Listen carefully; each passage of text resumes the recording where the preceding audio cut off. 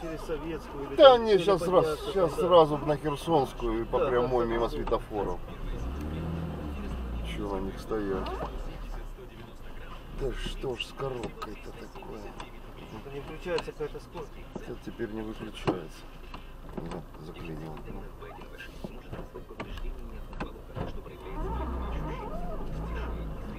Так, Бэушную поставил. Причем со Славуты. Тут родную попробуй найди, там Мелитопольскую.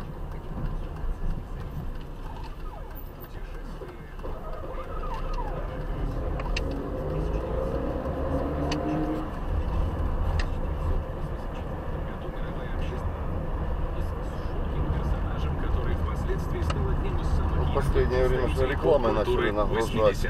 Его имя? Фредди Ага. Не прикройте у меня. Главный герой Конечно. ужасов «Кошмар на улице». Первая часть о противостоянии американских подростков с кошмарным монстром из снов.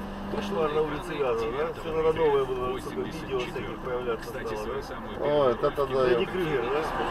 Фредди Крюгер, это у меня брат. Самая лучшая.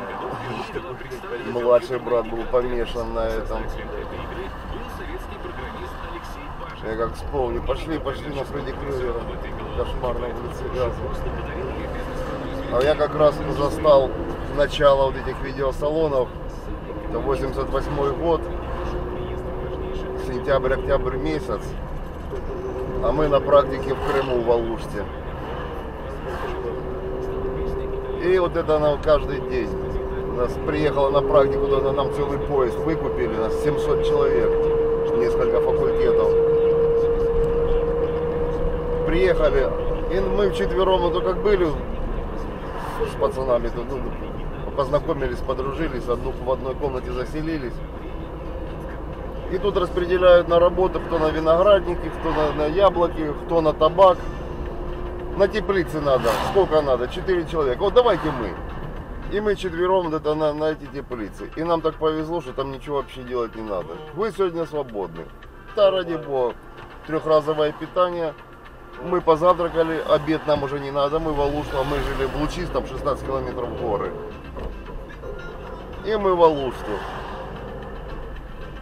Октябрь, не октябрь, мы же пацаны из Донбасса. Мы купаемся. На нас смотрят там как Не, ну все равно, что вода теплая, по идее. ну, уже не такая теплая. Шторм, не шторм. Ни- никого, никто не купается, только пацаны, ну и девчонки из Донбасса, естественно. Ну как быть на море? Ну, конечно. По пиву и видеосалоны.